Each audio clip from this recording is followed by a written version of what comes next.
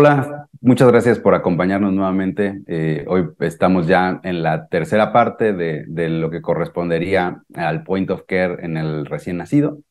Vimos la parte cardíaca, vimos la parte pulmonar y ahora estamos en la parte cerebral. Como habíamos platicado en, en ocasiones anteriores, pues hay todo un tema en cuanto a qué constituye el POCUS y qué constituiría otro formato de un modelo experto donde neonatólogos se entrenan en la exploración ultrasonográfica. Hablamos eh, extensamente del caso de, la ecocardiografía funcional, o en, en inglés el, el, Targeted Neonatal Echocardiography. Sin embargo, ahora que vamos a ver la parte de ultrasonido cerebral, también hay que aclarar que también llega a ser muy complejo. Si bien mucho de lo que vamos a ver ahora de detectar es sencillo y ha estado en manos de los neonatólogos por muchos años, el, existe de manera creciente en los centros eh, más avanzados grupos de neonatólogos que se encargan justamente de la neuroUSIN o de los cuidados neurocríticos del recién nacido. Como todos ustedes saben, pues partió de los pacientes que tenían encefalopatía hipóxico-isquémica y como al hacer hipotermia terapéutica, pues hay un sistema de neuromonitorización y eso se ha extendido hacia nuestros eh, pacientes más prematuros. Entonces, si bien eh, así como consideramos que el ultrasonido cerebral debe ser una competencia universal, la competencia universal es una parte, digamos, básica, porque sí existe un modelo experto avanzado que consistiría, pues, como les digo, en la neurocin, que son todos ellos, todos estos neonatólogos y neurólogos pediatras se dedican a, que se dedican a la neonatología y que han hecho estos equipos de cuidados neurocríticos. Vamos a empezar con algunas generalidades. La parte de anatomía es muy importante que la vayan aprendiendo poco a poco. Eh, aquí está la bibliografía recomendada, el, libro El Neonatal Cranial Ultrasonography de la doctora Meichler. Eh, y también, eh, como les decía, así como existe el programa de práctico para el corazón, existe el programa para el ultrasonido transfontaneral del doctor Nick Evans de Australia. Lo encuentran en su, en su página, lo, lo descargan, es bastante accesible y tiene la gran ventaja que tiene unas animaciones eh, que nos ayudan a entender cómo pasar de dos a tres dimensiones. Entonces, la gran mayoría de las exploraciones las vamos a hacer a través de la fontanela anterior. Sin embargo, también para esta parte, digamos, básica o estándar, vamos a aprender a utilizar esta fontanela lateral porque es muy importante para interrogar la arteria cerebral media, que en cuanto a Doppler nos da muchísima información. Y en nuestros pacientes más prematuros, vamos a ver que también se utiliza la fontanela mastoidea porque cada vez se reconoce más el papel de la patología del cerebelo, específicamente en nuestros recién nacidos prematuros, y además pues tenemos la ventana disponible y la vista en la fontanela posterior, que nos sirve para ciertos casos de hemorragia intraventricular. Y aquí podemos ver de manera dinámica pues todas las fontanelas que nos ayudan a podernos asomar al cerebro de nuestros recién nacidos sin necesidad de estudios más sofisticados, sin necesidad de radiarlos. Como les digo, la gran mayoría se va a hacer a través de la fontanela anterior la fontanela lateral para interrogar la cerebral media, pero también la mastoidea y la posterior. También eh, todos ustedes ya tienen y están y es de acceso libre, aquí pueden ver la, referencia. Como les comentaba, en cuanto a lo que consistiría el ultrasonido realizado por, por y para los neonatólogos, hay un número de ecocardiografía funcional del grupo europeo, donde hablan de el ecocardiograma realizado por neonatólogos y es un, eh, es, es, una serie extensa, son cinco o seis artículos donde explican desde la anatomía cardíaca hasta lo más avanzado de mediciones eh, de función ventricular, hipertensión pulmonar, conducto arterioso permeable relacionado a la prematuridad.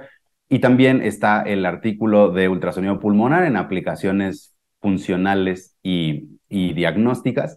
Y también eh, en, el, en el 2020, el grupo de estudio de, de, del cerebro, que también es un grupo de neonatólogos que se dedican a hacer cuidados neurocríticos, publicaron esta serie de, de, artículos que también son de acceso libre, están en Pediatric Research, que es una de las revistas con mayor reputación en investigación y demuestra que estos grupos de interés cada vez están creciendo más. Entonces también eh, muchas de las referencias vienen ahí, los invito a revisar los artículos con detenimiento. Entonces, sin uh, detenernos mucho en la parte de anatomía, porque más bien vamos a enfocarnos en las estructuras para detectar patología, pero bueno, ustedes pueden ver aquí los cortes eh, coronales. Aquí no viene este primero donde se vemos desde las órbitas y los lóbulos frontales, que nosotros normalmente hacemos de rutina, pero después vamos viendo la cisura interhemisférica, Silvio, los ventrículos laterales, el, cabum, septum cabum, el tercer ventrículo, y como podemos ver, el lóbulo frontal, el lóbulo temporal, los lóbulos parietales, los lóbulos occipitales. Eh, es muy importante los plexos coroideos. Y este es el barrido eh, sagital, donde hacemos uno central y dos parasagitales de cada lado. Y vean que podemos ver muy bonito el cuerpo calloso, el cerebelo, el tallo. Y en los parasagitales vamos a ver una estructura muy importante ahora que vamos a abordar el tema de hemorragia intraventricular, que es la escatadura caudo talámica y vemos toda la extensión del ventrículo lateral, el plexo coroide y también en los parasagitales más distales, pues podemos ver si hay patología y también podemos ver el, patrón de surcos para ver la maduración cerebral. Como les decía, eh, la vista mastoidea eh, y las vistas de la fosa posterior cada vez toman más importancia porque se puede detectar patología en los recién nacidos más prematuros. Como ustedes pueden ver, estas son transductores de alta gama con, con, con hertz muy altos que nos permiten delimitar muy bien eh, la estructura. Y aquí pueden ver el vermis y los hemisferios cerebelosos, el cuarto ventrículo, la cisterna magna. Y les digo otras vistas accesorias, como las vistas posteriores, que ahorita que veamos hemorragia intraventricular, vamos a ver cuál es su utilidad para poder distinguir entre plexo y hemorragia. Y algo que es muy interesante es cómo nuestros pacientes en el transcurso de la usina, entre más prematuros nacen, pues todo este proceso de, sulcación ocurre en, frente a nosotros y es muy importante justamente cuidar y vigilar cómo va la maduración cerebral y detectar si hay patología asociada a la prematuridad. Entonces, a mí esta, animación me, emociona mucho porque justamente es lo que tenemos que estar cuidando de nuestros recién nacidos y que está sucediendo mientras está bajo nuestros cuidados porque desafortunadamente nacieron antes de tiempo. Como pueden ver, aquí hay imágenes, especímenes de patología desde las 24 hasta las 40 semanas. Pueden ir viendo cómo hay un incremento de los sulcos y giros. Va a haber un incremento en la mielinización y eso es muy importante porque lo vamos a ir interpretando como hiperecogenicidades que pueden ser normales contra algo que nos hable de enfermedad de la sustancia blanca, involución de la matriz germinal y cambios en el volumen de líquido cefalorraquídeo. Pero como todos saben, pues desde aquí está el límite de viabilidad. Muchos tenemos bebés así o así en nuestro ingreso a la UCIN y pues cuando los egresamos a término queremos eh, egresarlos con la menor cantidad de daño. Entonces, de la semana 24 a la 26, el cerebro eh, tiene una apariencia lisencefálica, en los prematuros, los ventrículos laterales van a ser anchos y asimétricos. Generalmente el izquierdo es más grande que el derecho. De la misma manera, los cuernos occipitales van a ser más anchos. Va a haber una regresión de la matriz germinal, que ahorita vamos a ver qué es, que inicia de la semana 24 a la 26 en el cuerpo del caudado. De las 28 a las 34 involuciona la cabeza del caudado y termina de involucionar a la semana 36. Las zonas posteriores van a ser las que más rápido se desarrollan comparadas con las anteriores. A las 34 semanas la corteza frontal es aún suave comparada con la occipital que muestra más giros y sulcos obvios. Y a término se va a eh, observar una evidente sulcación y girificación. Los espacios de líquido cefalorraquídeo van a disminuir y van a ser menos visibles. Y aquí podemos ver la comparación de un neonato de 25 o 26 semanas contra un neonato de término y pueden ver cómo eh, pues los surcos son mucho más marcados, la apariencia del cerebro del prematuro es mucho más lisa y vean cómo aquí la cisura singular apenas la vemos y en el recién nacido de término es muy evidente. Vean cómo las silvio, las cisuras laterales están abiertas y posteriormente se cierran y también podemos ver la cisura calcarina. Y eh, hay dos maneras de hacer los transfontanelares.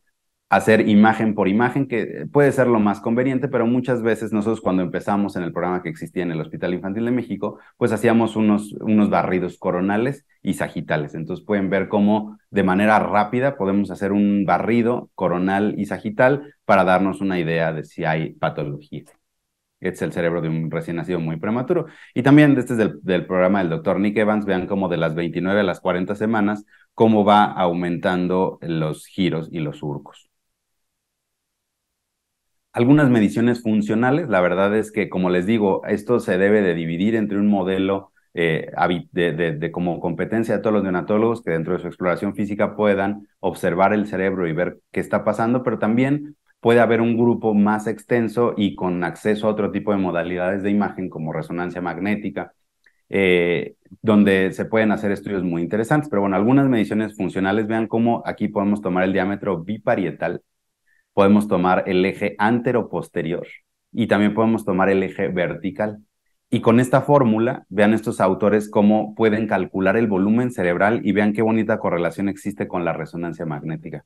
Entonces, si bien es muy importante tener estudios de neuroimagen sofisticados, pues también invertir en un buen transductor para hacer transfontanelares de calidad puede ser eh, muy importante. Aquí también hay otras eh, mediciones, es simplemente para que lo vean, le pueden hacer una captura de pantalla.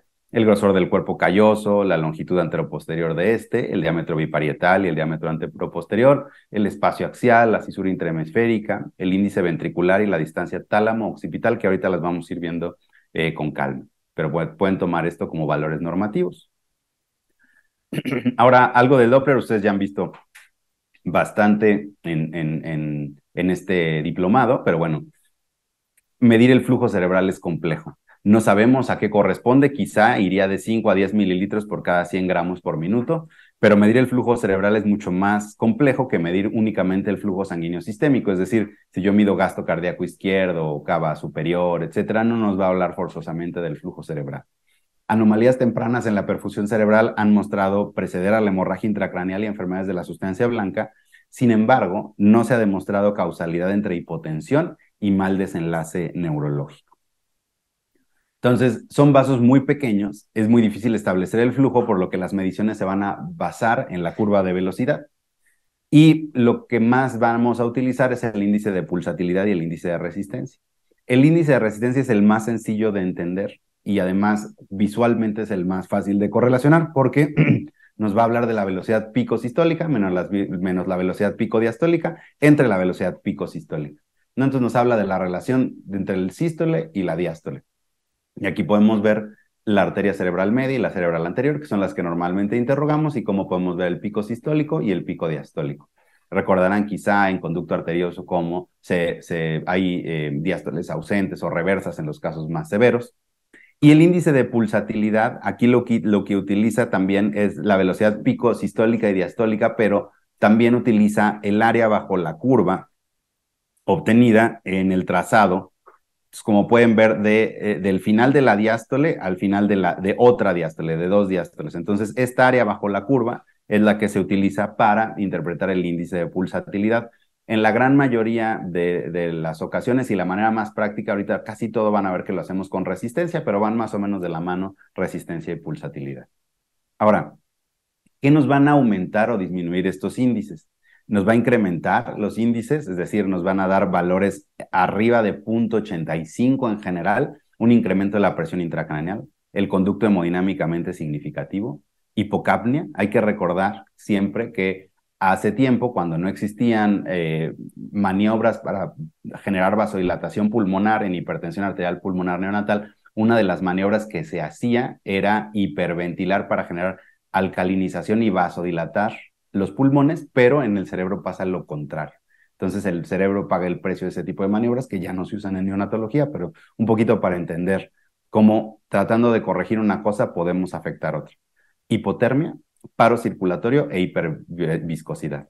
¿Y qué nos va a disminuir estos índices? Hiperemia. ¿Cómo, cómo se ve un, un índice incrementado con una sístole alta y la diástole muy baja o ausente o reversa?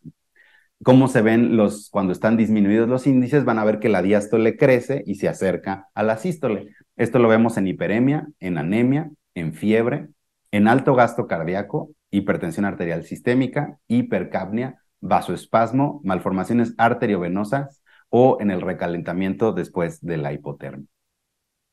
Las dos eh, vasos que más frecuentemente vamos a interrogar es la cerebral anterior y la cerebral media. Acuérdense que necesitamos tener un ángulo de insonación cercano a cero, menos de 20 grados de desviación. Normalmente los grupos que insonan la cerebral anterior lo hacen ya sea en la rodilla del, calloso o en, eh, o en este descenso que como pueden ver baja más derechito, entonces es más fácil que el cursor entre en ángulo cero. Y la arteria cerebral media generalmente se insona en su parte media, también nos da la ventaja de que es un vaso que baja derechito y nos permite insonar sin mucha angulación. Aquí pueden ver cómo se ve la arteria cerebral media ponemos el cursor y cómo nos da el trazo. De la misma manera, aquí podemos ver la cerebral anterior. En las prácticas vamos a hacerlo en vivo para que vean cómo se, cómo se hace. Y algunos ejemplos, índice de alta resistencia en un conducto arterioso hemodinámicamente significativo. Vean, este es el mismo paciente antes y después de regresar de ligadura de conducto arterioso. Vean cómo entra quirófano con las diástoles reversas y regresa con diástoles presentes. Casos de hipertensión endocraneana, ah, cuando estamos interrogando la fontanela anterior, hacemos ligera presión, hay que aclarar que es ligera presión y vean cómo se pierde, incluso se ven reversas las diástoles y al quitar esa ligera presión tenemos también índices muy incrementados y vean cómo no tenemos telediástole. Entonces, también índices de alta resistencia en hipertensión endocránea. Aquí podemos ver un mismo paciente a su ingreso y después de desarrollar una hemorragia intraventricular severa, vean cómo eh, hay datos de incremento de la presión endocraniana o índices de baja resistencia. Frecuentemente lo vemos en la asfixia o en muchos casos cuando tenemos eh, hipertensión pulmonar, pues la respuesta compensatoria va a ser esa vasodilatación regional. Entonces en asfixia va a haber un incremento en las velocidades diastólicas por pérdida de la resistencia vascular. Vean cómo la diástole sube y se acerca a la sístole. Y vean, este es un ejemplo muy crítico, un paciente con una cardiopatía congénita, atresia pulmonar con comunicación interventricular ramas pulmonares confluentes, de extroposición de la aorta y un conducto arterioso restrictivo que entra a quirófano para hacer una fístula. Aquí tienen la imagen de, la radiografía y el ecocardiograma. Y vean cómo en quirófano hay un, eh, sufre un paro cardiorrespiratorio que, se recupera. aquí nos, hablaron para valorar vean cómo pues inmediatamente después del evento no tenemos mucho que documentar en cuanto a hiperecogenicidades o algún dato en el ultrasonido transfontanelar, sin embargo, vean el Doppler de las cerebrales, como hay, como la diástole casi toca la sístole y esta es una imagen de que hay pérdida total de la autorregulación. Ahora, algo que también es bien importante es en el cerebro del prematuro, es mucho más lábil y es mucho más, eh, es más fácil que generemos lesión con, eh, con el manejo, sobre todo ventilatorio. Entonces, en un paciente, si yo gradualmente voy eh, disminuyendo el volumen sanguíneo, digamos en una hemorragia, generalmente el cerebro alcanza a compensar. Aquí les pongo el ejemplo de un neonato de término que tenía un tumor gigante vascular en la lengua y eh, tras su ingreso el tumor se reventó. Entonces teníamos un choque hipovolémico en la cama del paciente, guiamos el manejo por ultrasonido y vean la vasodilatación tan importante cerebral y este neonato pues se recuperó sin mayor problema, digamos, no hubo mayor secuela neurológica a pesar de que tuvo un choque hipovolémico profundo, pero cuando hay un incremento súbito de la presión intracraniana, la lesión puede ser muy difícil de controlar y más en un cerebro prematuro. Entonces aquí tenemos para contrastar un prematuro que tiene fluctuaciones bruscas de CO2 durante la guardia y vean cómo están incrementadísimos los índices de resistencia y se genera una hemorragia intraventricular severa. También sabemos que cuando hay cualquier evento que pone en riesgo la vida, va a haber una redistribución, redistribución cefálica preferencial del gasto cardíaco izquierdo. Y un ejemplo es en, la, en, hipotermia terapéutica, en pacientes asfixiados.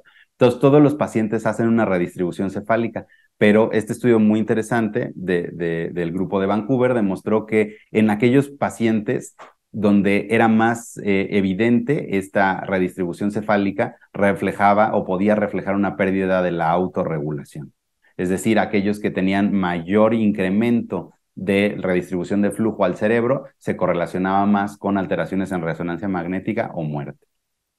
Dopplers asimétricos en caso de infarto perinatal. Es muy importante cuando se hacen los estudios tratar siempre, como tenemos a la mano las cerebrales medias, podemos eh, interrogar las dos, podemos hacerle Doppler a las dos y podemos comparar estos que tienen que ser pues, parecidos. ¿no? Entonces se ha descrito estos Dopplers asimétricos en infarto perinatal velocidades bajas por obstrucción y en el caso del ejemplo, la velocidad alta con índice de resistencia bajo puede representar reperfusión después de un infarto perinatal.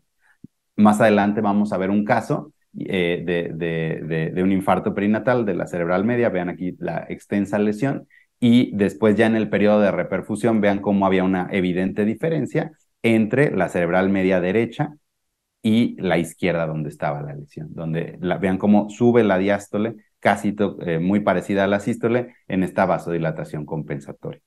Otro ejemplo, donde tenemos una malformación cerebral con agenesia hipoplasia del cuerpo calloso y un encefalocele que protruye estructuras encefálicas supra e infratentoriales y vean cómo también a la hora de interrogar eh, la vasculatura cerebral, pues también había un evidente problema que puede reflejar pérdida de la autorregulación con menos de 0.55 de índice de resistencia.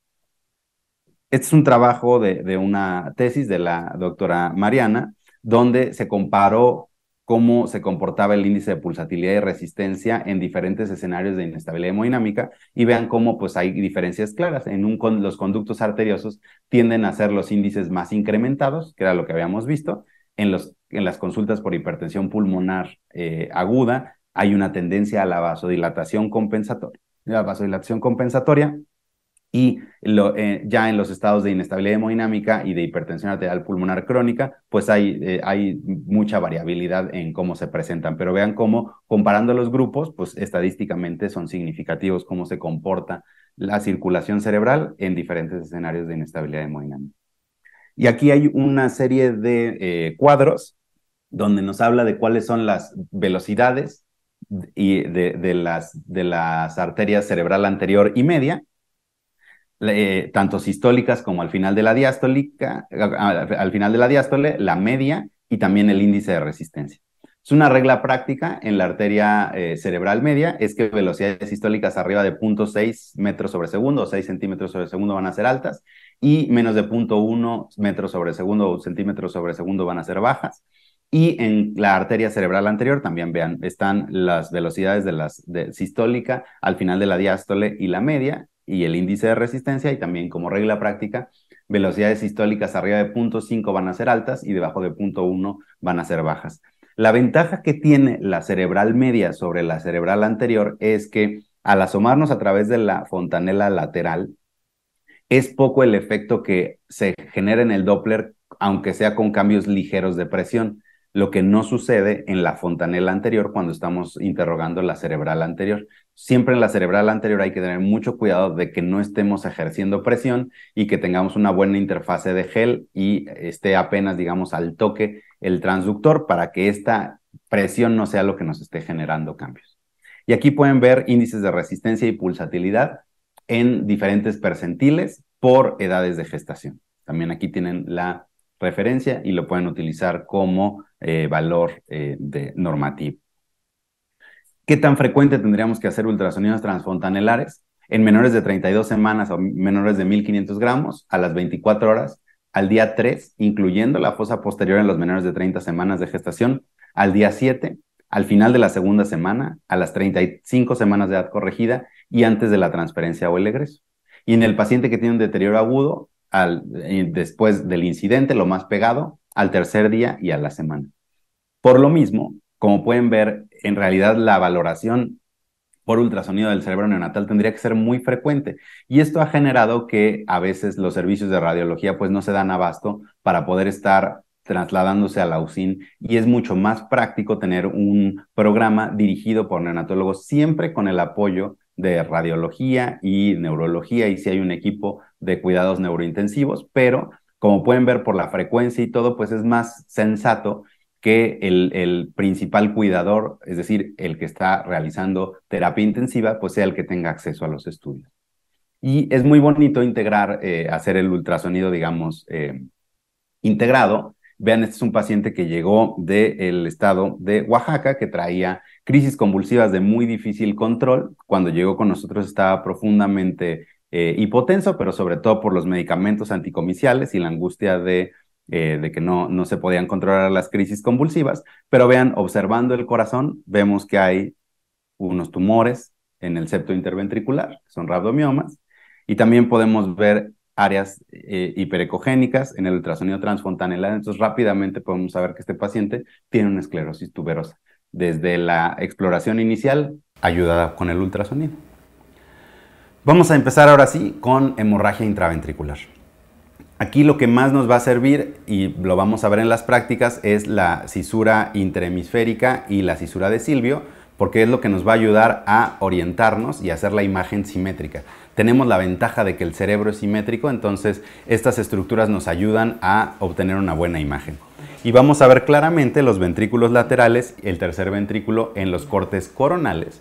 Y en los cortes parasagitales vamos a poder identificar el plexo coroideo, una estructura que ahorita vamos a ver que se llama escotadura caudotalámica y el plexo coroide. Entonces es muy fácil, digamos, tener esta imagen de qué es lo, lo principal que vamos a buscar.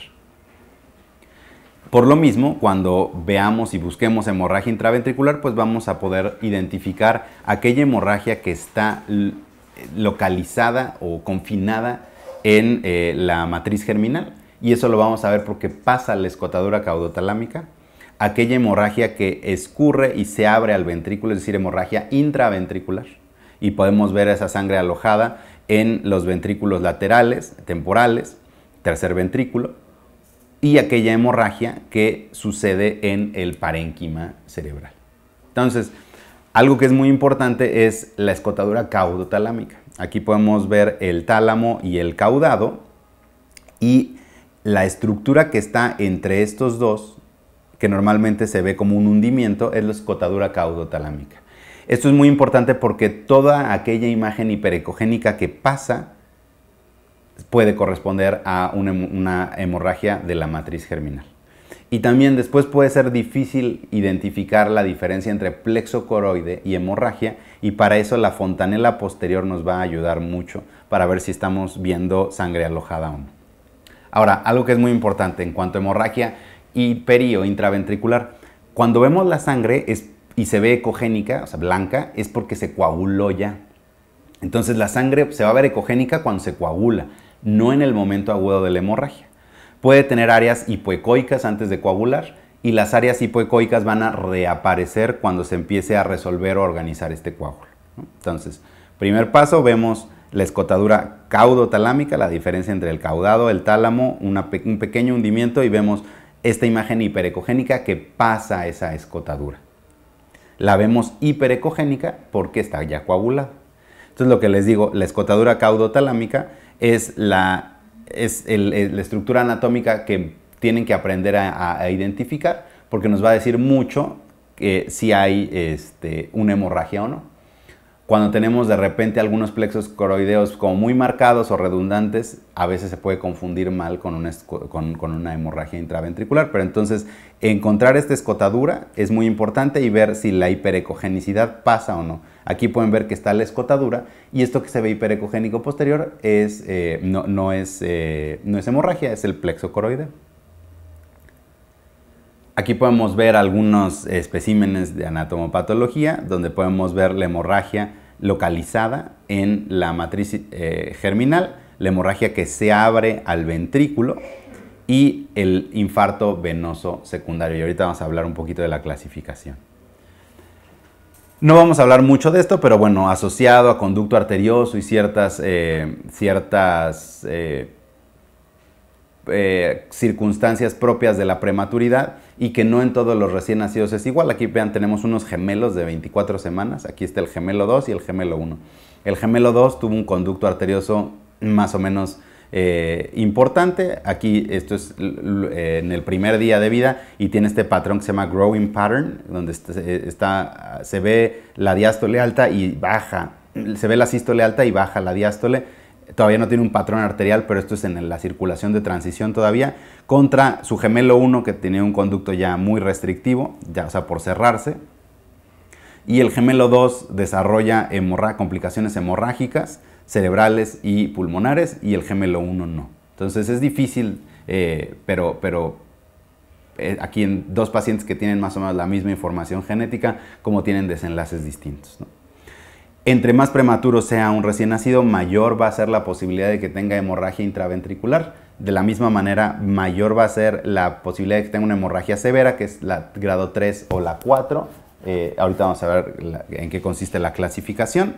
Y eh, enfermedad de sustancia blanca relacionada también, los porcentajes, cómo van aumentando conforme va incrementando el nivel de prematuridad.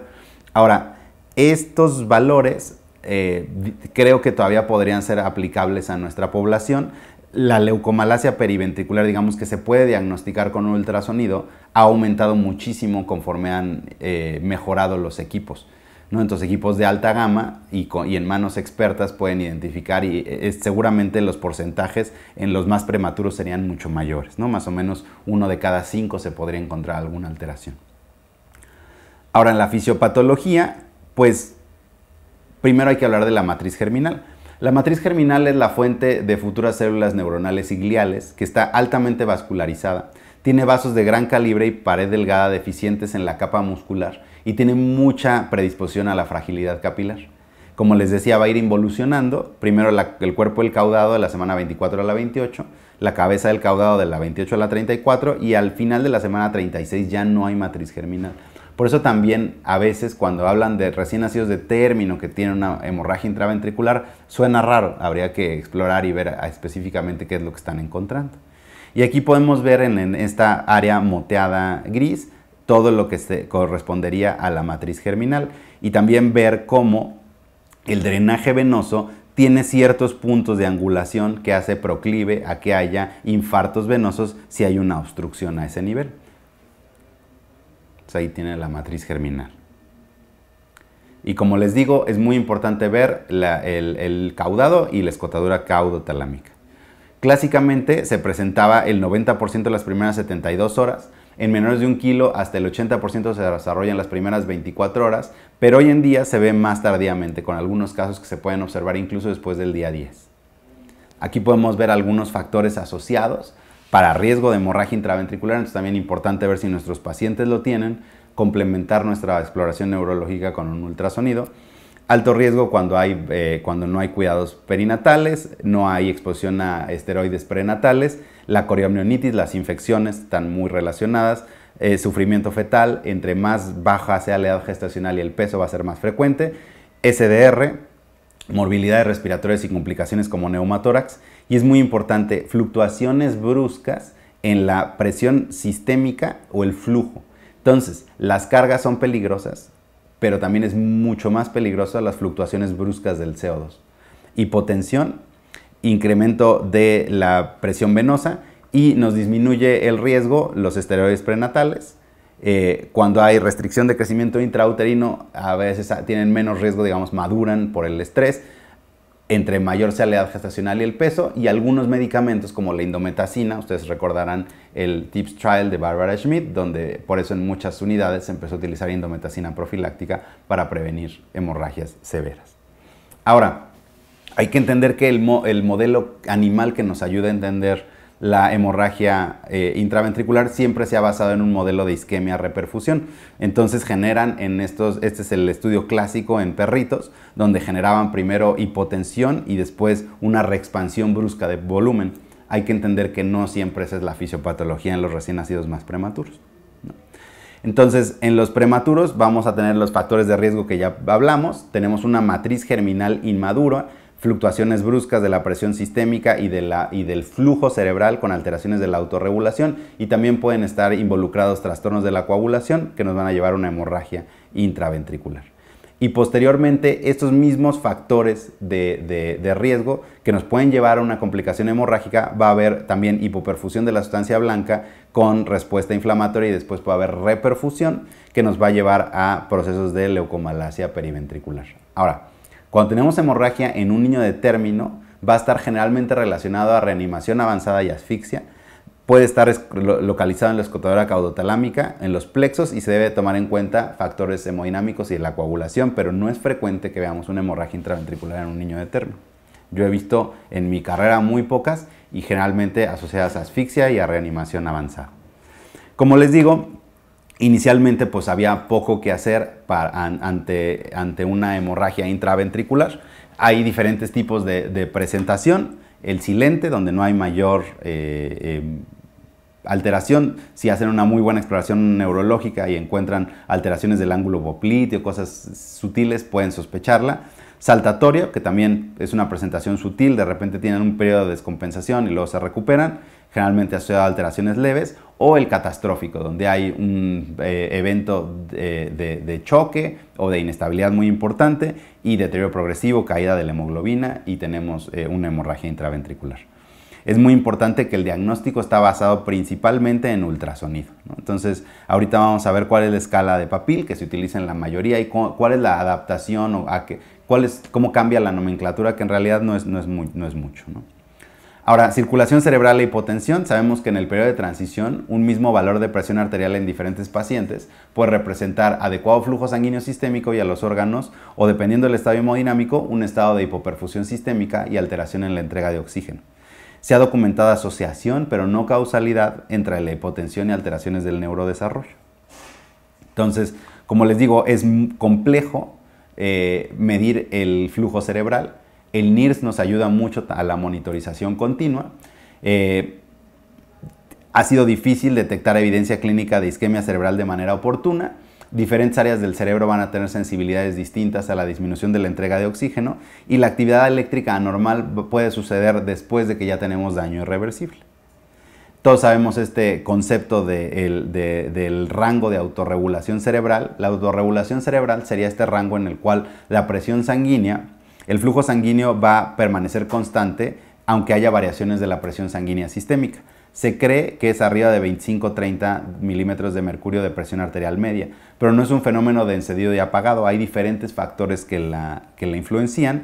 Se mantiene la estructura y función celular por un aumento de la entrega de oxígeno, por eso en estos casos vamos a ver en el Doppler vasodilatación cerebral y hay que ver que esta vasodilatación esté dentro de rangos normales. Cuando vemos una cuestión excesiva, como les decía, menos de 0.55 de índice de resistencia nos puede identificar que hay pérdida de la autorregulación cerebral. Entonces, todo esto son umbrales, no sabemos los valores exactos, pero bueno, se cree que el umbral de autorregulación está con una presión arterial media entre 25 y 30. Habría un, un umbral funcional entre 22 y 24, es decir, donde todavía otros factores de adaptación pueden ayudar a que se mantenga la entrega de oxígeno y el umbral isquémico debajo de 20 milímetros de mercurio. Recordar que también cambios en electrolitos, en el pH y muy importante en el CO2 nos van a generar vasodilatación o vasoconstricción cerebral. Entonces, justamente es muy importante tomar en cuenta todos estos elementos y después de que lo hayamos detectado que hubo una fluctuación brusca, pues hacer el ultrasonido transfontanelar. La escala de papil eh, de los 70 pues se estableció antes de un entendimiento completo de la fisiopatología de la hemorragia intraventricular periventricular. No es completamente lógica porque una hemorragia periventricular 4, pequeña, confinada a la matriz germinal, es un grado 1. Si esta hemorragia crece y está confinada en la matriz germinal y obstruye el drenaje venoso, se convierte, causa un infarto y se convierte en una 4. Y también si una pequeña cantidad de sangre de la matriz germinal escurre al ventrículo es un grado 2 y cantidades más grandes es una grado 3. Entonces una grado 4 podría ser una grado 1 grande y una 3 sería una grado 2 grande. Y algo que muchas veces un, concepto que está mal entendido es cuando dicen se extendió la hemorragia al parénquima, no se extiende, es, un, es un infarto venoso generalmente. Entonces, el grado 1, como les digo, es hemorragia intraventricular de matriz germinal subependimaria, 35% de las lesiones y menos del 10% del área ventricular llena con sangre. Pero es muy, eh, más bien eh, analizando los elementos, podemos decir, ¿hay hemorragia subependimaria, o sea, de la matriz germinal, sí o no?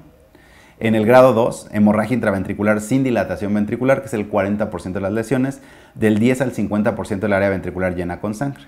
También es más fácil saber si hay hemorragia intraventricular sí o no. En el grado 3, hemorragia intraventricular con dilatación ventricular, que es el 25% de las lesiones y más del 50% del área ventricular llena con sangre. También sería, es más fácil saber si hay ventriculomegalia sí o no. ¿Por qué? Porque una hemorragia intraventricular aislada de gran volumen nos puede dar hidrocefalia poshemorrágica, ventriculomegalia relacionada con daño o pérdida de la sustancia blanca, daño periventricular quístico, cuando es persistente, nos da un peor pronóstico. Y en la grado 4 es una hemorragia intraventricular de matriz germinal con afectación parenquimatosa, que normalmente corresponde a un infarto periventricular hemorrágico. También anomalía parenquimatosa, sí o no, como les digo, no es una extensión de la hemorragia intraventricular lo que vemos en el parenquimo. Ahora, como les digo, la imagen normalmente se puede tomar o dinámica o estática. en los estadios iniciales de la hemorragia intraventricular es muy importante que se tome un video. Como pueden ver en este, este es de, la serie del Pediatric Research, vean cómo se ve esta hiperecogenicidad circulando entre los ventrículos laterales y el tercer ventrículo. Entonces, este sería el estadio inicial de una hemorragia intraventricular. Con, con, un, con un transductor de alta gama, pues pueden ver todo esto que corresponde a sangre dentro de los ventrículos y ya cuando la vemos es porque ya se coaguló. Entonces, la grado 1 va a ser una hemorragia confinada a la matriz germinal. Vamos a ver una imagen hiperecogénica que pasa de la escotadora caudotalámica y la clave es no malinterpretar la punta anterior del plexo coroideo.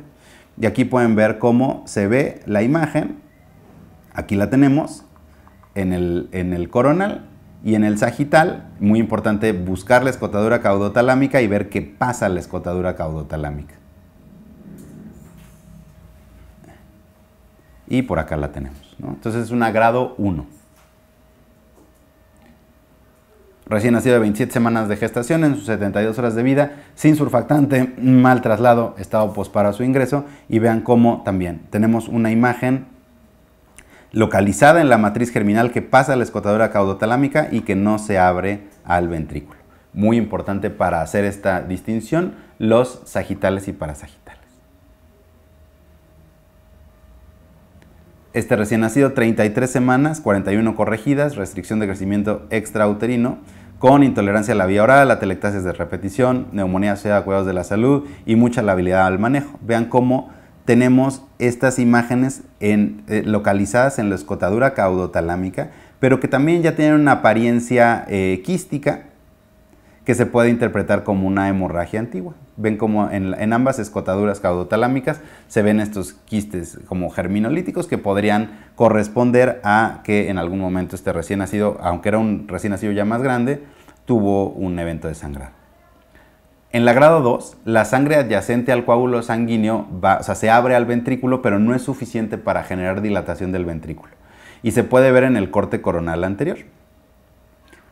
Conforme el coágulo va a descender, posteriormente es útil verlo en los cortes coronales y en los cortes posteriores. Entonces, la clave aquí es distinguir la hemorragia del plexo coroideo. Muchas veces se puede identificar una línea hipoecoica que nos va a separar al plexo coroide de lo que es el coágulo. Y aquí podemos ver, se ve un poquito más grande. Y en el sagital vemos cómo se abre al, al ventrículo esta sangre.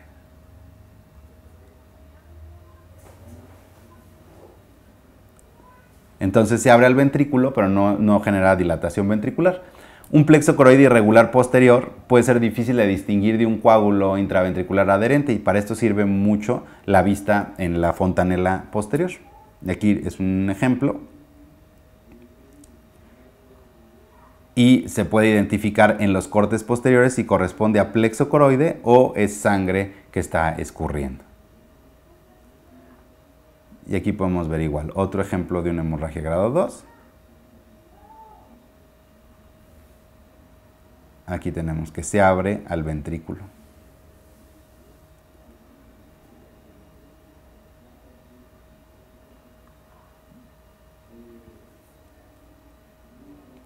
Ahora, en la grado 3, implica encontrar un coágulo sanguíneo dentro del ventrículo de tal manera que físicamente cause dilatación del ventrículo. Cuando hay casos severos no hay duda, pero puede ser difícil distinguir de repente entre una 2 y una 3. Pero una regla que puede servirles mucho es eso. Necesitamos encontrar el coágulo y que físicamente distienda o genere dilatación ventricular. Vean, por ejemplo, este es un paciente donde se podía ver, nos, reportaban una hemorragia grado 3, donde eh, podíamos ver en los cortes más anteriores que había sangre, pero cuando buscábamos el tercer ventrículo, vean cómo está totalmente libre. Comparándolo contra una verdadera grado 3, donde tenemos sangre dentro del ventrículo y que también nos ocupa el eh, tercer ventrículo. Entonces, dos causas por las cuales se puede clasificar mal. No es claro el punto de corte entre una hemorragia 2 y una 3 y tampoco está especificado que, si dilata sangre o dilata líquido cefalorraquídeo. Entonces no se especifica si es sangre o líquido cefalorraquídeo lo que genera la dilatación. Y como les digo, es mucho más fácil distinguir y diagnosticar un grado 3 cuando vemos que físicamente está dilatado el ventrículo por el coágulo. Es un ejemplo de cómo pueden haber malas interpretaciones. Es un paciente que tuvo CMV congénito. Entonces, tenía los ventrículos eh, dilatados por la prematuridad y por la, infección, ¿no? por el CMV. Y se veía un plexo coroide prominente, pero este paciente, y también y las calcificaciones que se veían este, intracerebrales. Pero este paciente por mucho tiempo en el expediente se había clasificado y se había seguido el mismo diagnóstico. Tiene una hemorragia grado 3, tiene una hemorragia grado 3, tiene una hemorragia. Cuando pues evidentemente este paciente pues no tiene una hemorragia grado 3. Son alteraciones cerebrales por CMV. Aquí pueden ver una hemorragia grado 3 en progresión y vean cómo este, están ocupados los ventrículos y el tercer ventrículo. Esta imagen, por ejemplo, la tomó el residente durante la guardia. Entonces vean cómo pues, identifica el problema y correlaciona perfectamente con el espécimen de patología. Y en la grado 4, clásicamente implicaba como una extensión de la ecogenicidad hacia la sustancia blanca periventricular. La hemorragia distiende el ventrículo, posteriormente obstruye las venas que pasan por esta área, que como les digo tiene una angulación específica, entonces es muy fácil que se genere un infarto hemorrágico y se observa normalmente en forma de bengala o de llamarada. Y después de una hemorragia grado 4, pues la evolución, la evolución final va a ser un quiste por encefálico. Ahora, no hay correlación entre estudios anatomopatológicos que la sangre parenquimatoso sea de origen intraventricular y van a haber lesiones ecogénicas por hemorragia de la sustancia blanca o cerebral que no van a estar asociadas con evidencia histológica de daño a la sustancia blanca. Entonces aquí podemos ver eh, un, como un paciente que tiene una grado 4, clarísima, del lado izquierdo, en el coronal.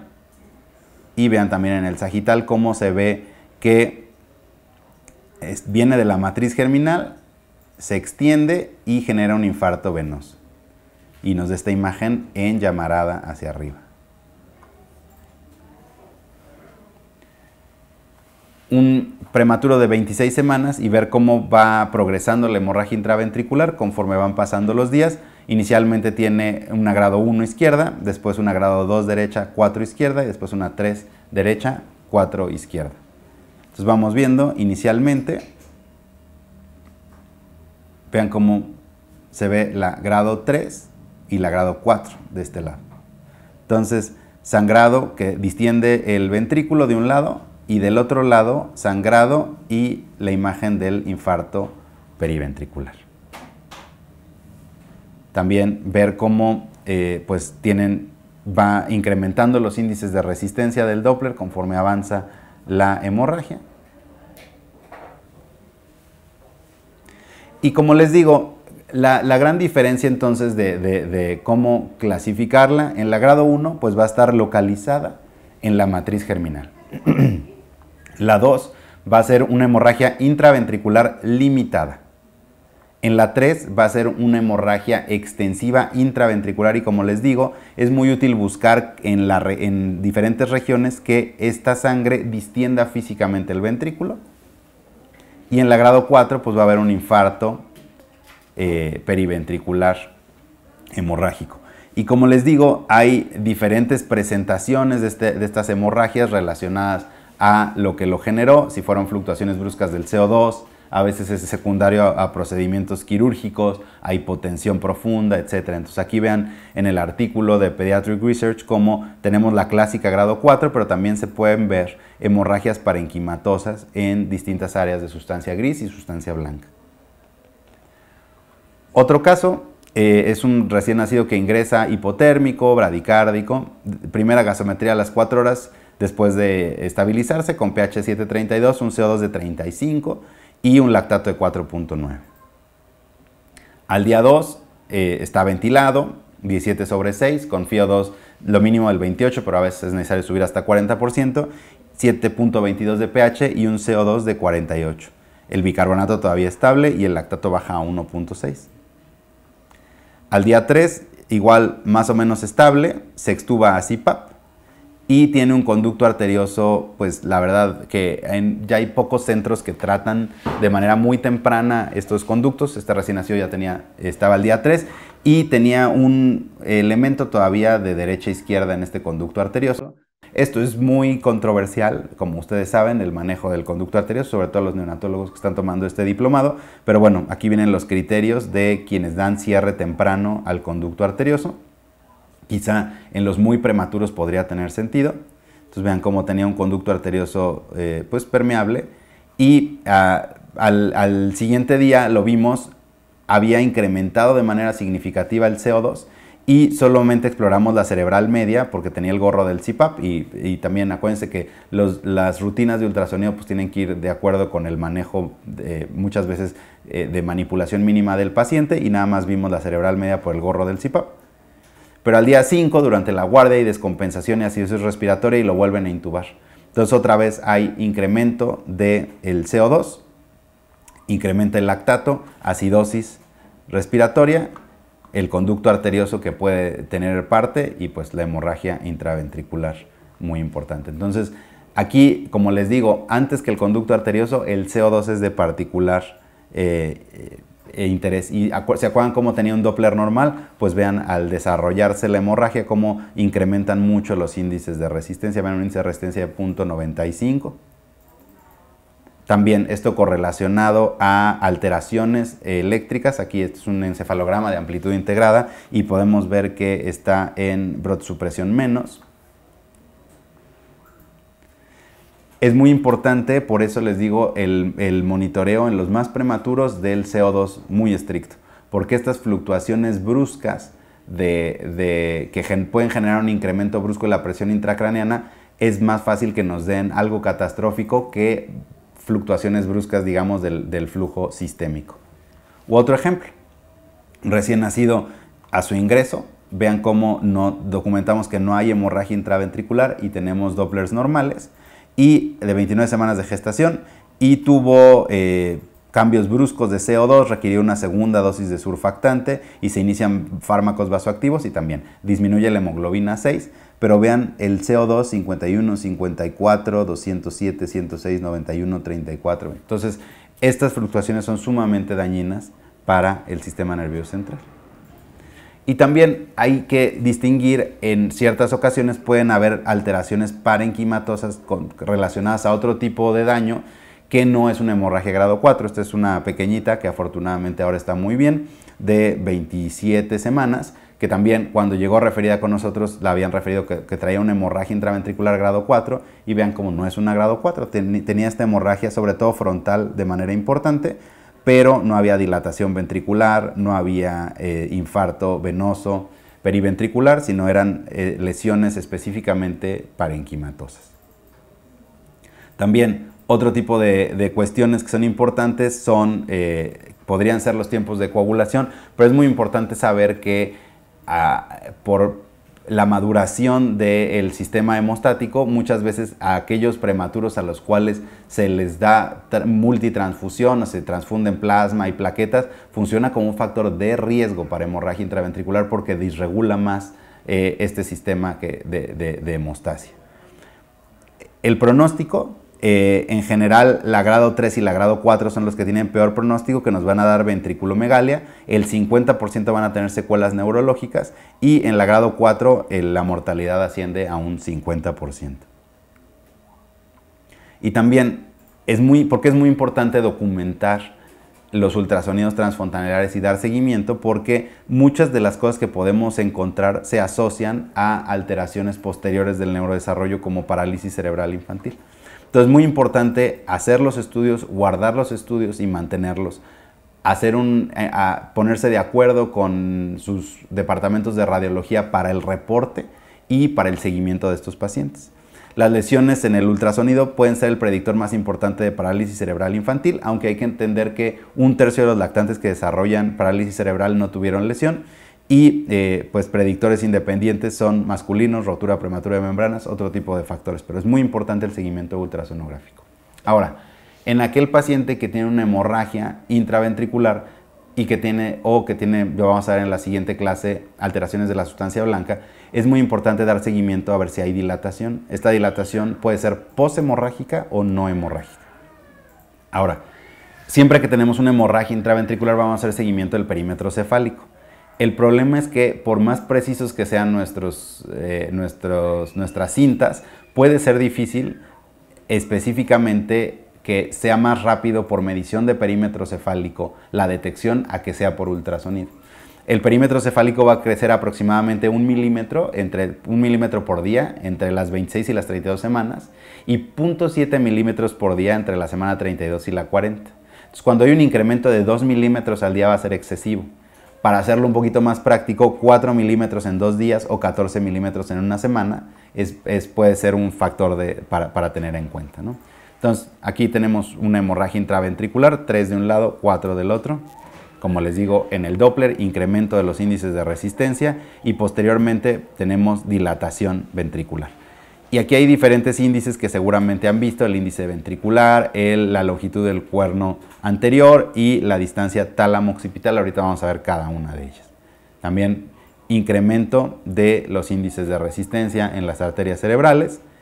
Y hay que tratar de evitar para estas, eh, en estas situaciones radiar excesivamente a nuestros pacientes.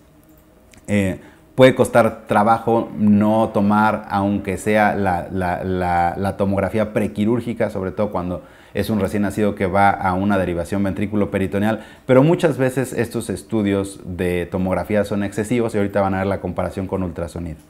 Entonces, vean, eh, esta es una hemorragia muy atípica, también con pérdida de volumen, que hacen que el ventrículo lateral izquierdo pues, sea esta cuestión gigante y se puede medir el límite, el, índice ventricular y la longitud del cuerno anterior. Ahorita vamos a ver cómo se miden y la tálamo occipital de manera muy marcada. También vean cómo datos de incremento muy importante de la presión intracraneana con diástoles reversas en la cerebral anterior. Y aquí también en la serie del Pediatric Research pues vienen más o menos los mismos índices que se miden. Entonces uno va a ser el, el, índice ventricular o de Levin, que se mide de la cisura intrahemisférica, es decir, de la línea media a la parte más externa del ventrículo lateral. La otra medición que también es muy importante, sobre todo para establecer dilatación ventricular, para, por ejemplo, para hacer la diferencia entre una 2 y una 3, puede ser la longitud del cuerno lateral o la distancia del techo al piso del cuerno lateral. La tálamo occipital, pues vamos del tálamo a la parte más distal occipital y también podemos ver dilatación del tercer ventrículo, del acueducto y del cuarto ventrículo. Entonces, el índice ventricular, como les digo, de la línea media a la parte más exterior del ventrículo lateral y aquí están los valores normativos. Ustedes pueden ver la edad gestacional y cuántos milímetros tenemos y ver si están arriba de la percentil 95 y la longitud o del cuerno lateral o como, les, como viene en el artículo del Pediatric Research del techo al piso del cuerno lateral. Y también aquí pueden ver la edad de gestación y este, perdón, esta es la, la, longitud del ventrículo lateral y este es el índice ventricular de Levin. Y pueden ver aquel que está arriba de la percentil 95 o la distancia tálamo occipital, ¿no? del tálamo a la parte más externa occipital. Y también aquí tenemos las edades de gestación y los milímetros para ver si está arriba de la percentil 95. Y otra medición que puede servir en el corte coronal es la, relación que hay entre el cuerno frontal y occipital. En inglés es frontal and occipital horn ratio. Entonces, vean en una sola imagen, ustedes van a medir A, B y C. A va a ser la longitud que hay entre eh, la parte más lateral de los ventrículos laterales. B va a ser de los cuernos eh, temporales, vamos a medir la distancia que hay de la parte más externa del temporal a la siguiente. Y el diámetro biparietal lo vamos a medir de tabla interna a tabla interna a través de la cisura de Silvio. Y aquí cuando tenemos de punto 45 a punto 49 va a ser moderada y cuando tenemos arriba de punto 5 es severa y se tiene que intervenir. Entonces, como les digo, para hacer la, la regla es A más B entre 2 veces C a la parte más externa de los ventrículos laterales. B, la parte más externa de los ventrículos temporales. y el diámetro biparietal, que lo vamos a multiplicar por 2, va a ser C. Entonces aquí podemos ver un recién nacido con una hemorragia y cómo dilata a los 14 días y cómo este, esta misma medición que se puede hacer por resonancia magnética correlaciona muy bien con, este, con el realizado por ultrasonido. Entonces también estas mediciones y este seguimiento se puede hacer perfectamente por ultrasonido. Un caso clínico, recién nacido de 32 semanas, bajo peso para la gestacional, restricción de crecimiento intrauterino, desequilibrio electrolítico con hipocalcemia, hipercalcemia, trombosis en el septum intraauricular, trombólisis con alteplase, sepsis asociada a la atención en salud por Klebsiella pneumoniae, endocarditis infecciosa y artritis séptica por estafilococo epidermidis. Entonces recién nacido que llega con muchas complicaciones, con un trombo y complicaciones infecciosas. Vean cómo no hubo en ningún momento hemorragia intraventricular, pero sí llamaba la atención las ecogenicidades. Normalmente el Doppler inicialmente con una tendencia a normal a tener cierta vasodilatación cerebral compensatoria en los eventos de más eh, inestabilidad. Tuvo además estos eventos infecciosos, pero vean cómo se ve gradualmente que van dilatando los ventrículos. Ventrículos laterales, el tercer ventrículo.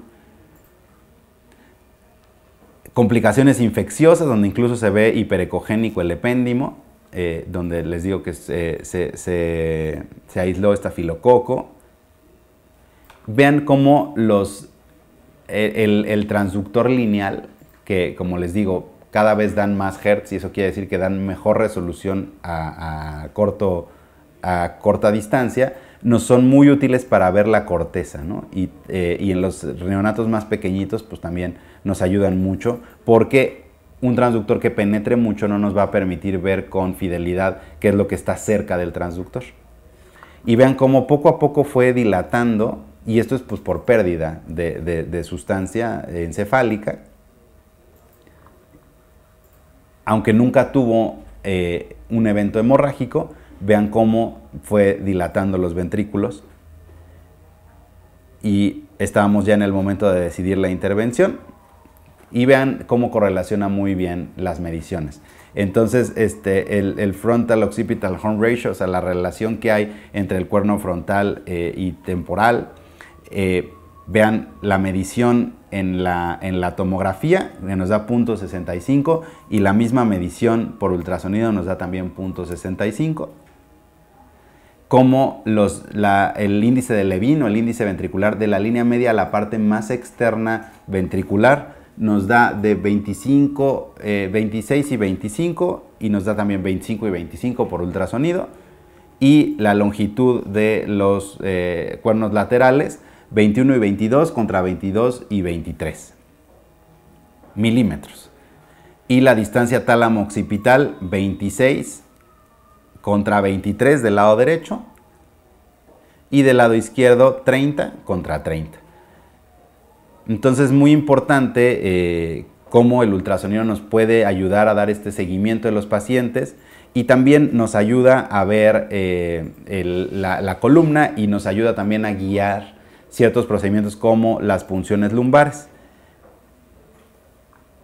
Aquí tienen otro caso, vean cómo aquí eh, la, dilatación ventricular es asimétrica, está jalado el, ventrículo del lado derecho. Y también vean cómo comparando las mediciones por eh, tomografía contra ultrasonido, aunque hay distorsión anatómica, pues obtenemos imágenes muy similares, incluso a mí me gustan más las del ultrasonido, y eh, tenemos los mismos índices, ¿no? El punto 76 por tomografía contra punto 75, los tálamos occipitales 38 y 38 y 37 por ultrasonido, y también podemos detectar alteraciones de, eh, en el flujo sanguíneo con incremento de la presión eh, intracraneana porque es muy importante también eh, la, guía del ultrasonido para hacer las punciones lumbares para ver si hay líquido que podemos drenar. Y porque como ustedes saben, hay creciente evidencia en la literatura que las punciones lumbares seriadas en algunos pacientes pueden evitar que tengan que pasar a una derivación ventrículo peritoneal. Entonces, en general, si hay persistencia de crecimiento del perímetro cefálico más de 1.5 centímetros por semana, incremento del índice ventricular arriba de la percentil 97 más 4 o la, longitud eh, del techo al piso más de, un, de 10 milímetros, se hace una punción lumbar evacuadora a 10 mililitros por kilo. Vemos si hay crecimiento cefálico no excesivo y se detiene el crecimiento de los índices ultrasonográficos, pues podemos documentar que está detenida la dilatación.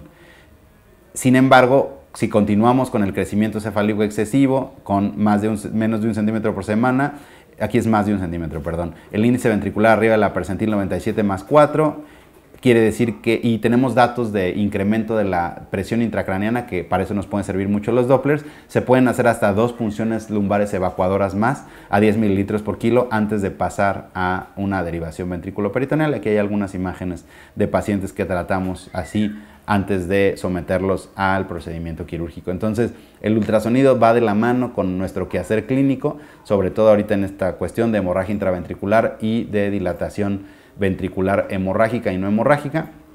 Y les agradezco mucho su atención.